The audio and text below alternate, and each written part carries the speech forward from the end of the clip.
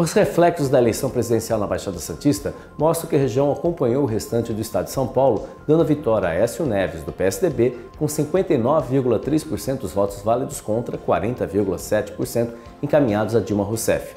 Ela ganhou apenas em Cubatão, a exemplo do que havia ocorrido no primeiro turno.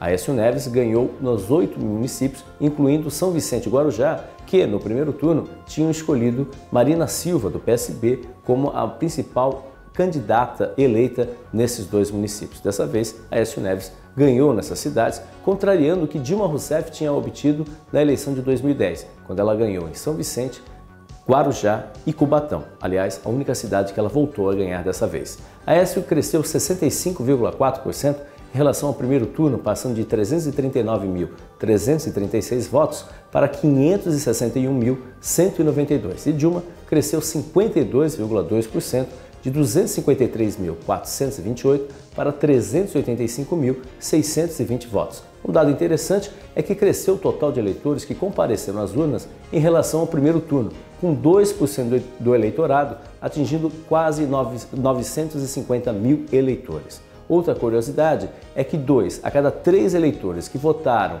em Marina Silva e os demais candidatos na eleição do primeiro turno, lá no início de outubro, passaram e votaram em Aécio Neves dessa vez.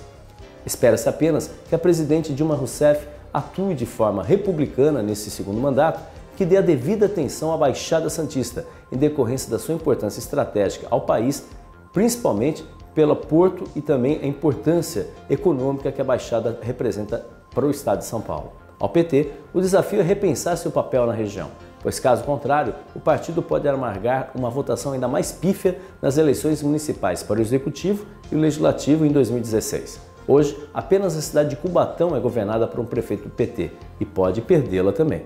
Como diria o ex-presidente Lula, muito preocupado com as eleições do PT em São Paulo, o partido precisa de uma chacoalhada e com urgência, antes que seja tarde demais.